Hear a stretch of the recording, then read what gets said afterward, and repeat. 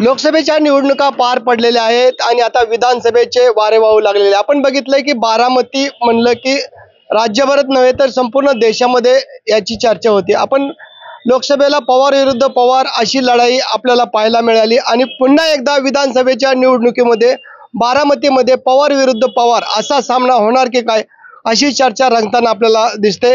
आणि ही आत्ता आपल्याबरोबर आहेत राष्ट्रवादी शरदचंद्र पवार गटाचे युगेंद्र पवार मला सांगा अजितदादा नमस्कार अजितदादांनी जनसन्मान यात्रा सुरू केल्यानंतर आज आपण स्वाभिमान यात्रा सुरू केलेली आहे. नाही त्यांनी सुरू केलं त्याच्यामुळं आपण केलं असं नाहीये. म्हणजे आपले सगळे गावभेट दौरे सगळे ठरलेले ह्याच्या आधी पण आपण एक आभार दौरा घेतलेला जिथं आपण सगळ्या गावांमध्ये फिरलो सगळ्या लोकांशी आपण संवाद साधला. आणि आमच्या नियोजनाप्रमाणे आता आमची दौ आमची यात्रा सुरू होतीये. आज आमचा पहिला दिवस आहे. कनेरीमध्ये मारुतीरायाचं दर्शन आशीर्वाद घेऊन आम्ही या यात्रेची आज सुरुवात केली गेल्या पन्नास पन्नास पंचावन्न वर्षानंतर जे पवार कुटुंब एकत्र होतं या पवार कुटुंबामध्ये आता फूट पडल्याचे आपल्याला पाहायला मिळतंय आणि एका बाजूला अजितदादा आणि एका बाजूला म्हणजे त्यांचे सख्खे भाऊ श्रीनिवास बाप्पू आणि आपण आता दिसत आहे नाही काय आता पूर्वीपासून अं, शारदाबाई पवार असतील पवार साहेब असतील राजकारण वेगळं असावं कुटुंब वेगळं असावं ह्या विचारांनी आम्ही आजपर्यंत इथं काम करत आलोय आणि माझी इच्छा आहे अपेक्षा आहे की उद्या पण आम्ही सगळे हेच विचार पुढे घेऊन जाऊ. अजितदादांनी परवाच्या मेळाव्यामध्ये अं, सांगितलं की मी एक्क्याण्णवपासून दोन हजार चोवीसपर्यंत एवढी करोडो रुपयांची कामं केली. परंतु लोकसभेला जो कौल दिला ते त्यांना मान्य नाही.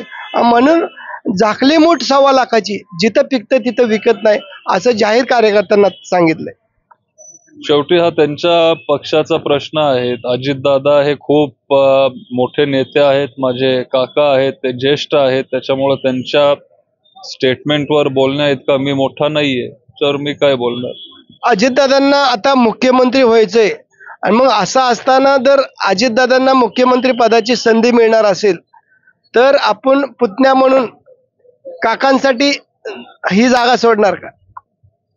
आता पुतण्या म्हणून काकांसाठी किंवा आता काकांनी एकतर आजोबांना सोडायला नको हवं होतं हीच माझी हीच माझी भावना आहे आणि उद्या पण हीच माझी भावना असेल. अजितदादा जर पुन्हा एकदा पवार साहेबांशी जवळीक साधण्याचा निर्माण त्यांनी प्रयत्न केला तर आपल्या काय भावना राहतील? शेवटी हा त्यांचा विषय मी खूप लहान आहे आणि शेवटी पवार साहेब हे आमचे सगळ्यांचे दैवत आहेत. ते दादांचे काका आहेत. माझे आजोबा आहेत.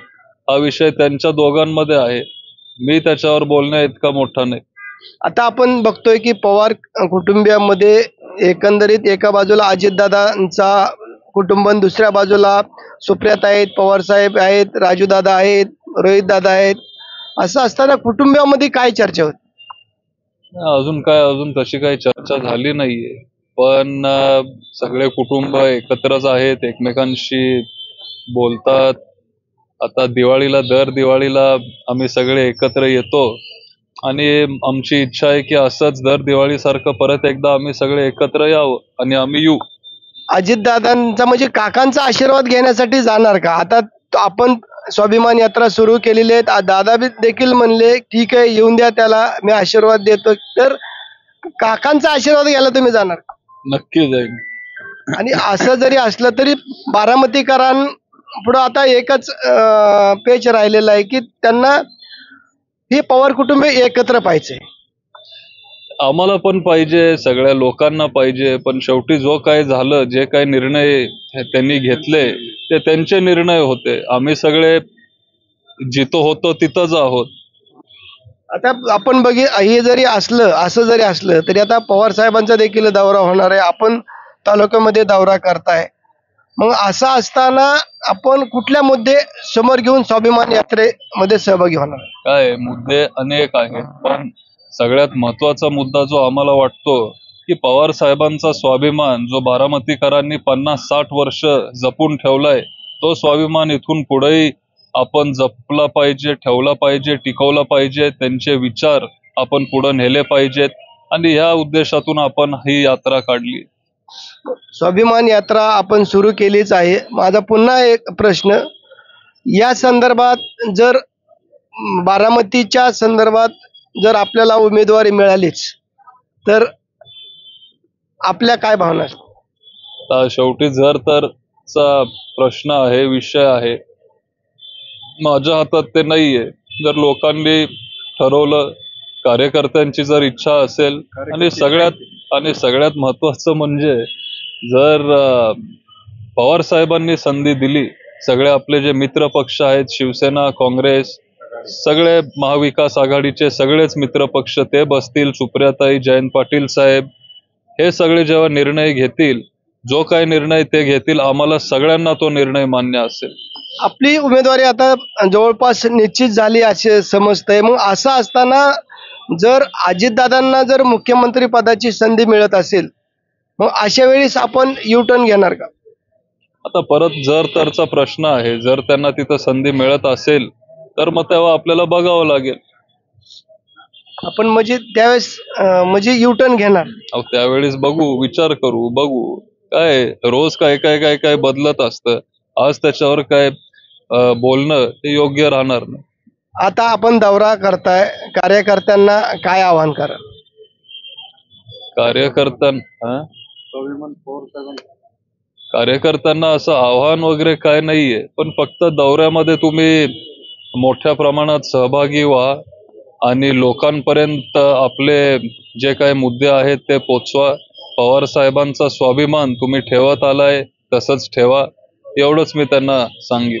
लोकसभेला आपण बघितलं की निनावी पत्र व्हायरल करण्यात आला आले सोशल मीडियावर आणि बदनामी करण्यात आली. पुन्हा एकदा आता विधानसभेला असंच चित्र समोर येताना दिसतंय परंतु पक्षामार्फत कुठलीही कारवाई होत नाही. नाही आता काय हे कोण पत्र लिहितं काय हे आम्हाला पण माहिती नसतं. खरं तर हे खूप चुकीचं आहे. आणि सगळे म्हणजे जे तुम्हाला मी काय बोलत नाही पण जे मीडियाचे सगळे आहेत तेच हे सगळे पत्र घेतात त्याला जास्त महत्त्व देतात आणि त्याला मोठं करतात.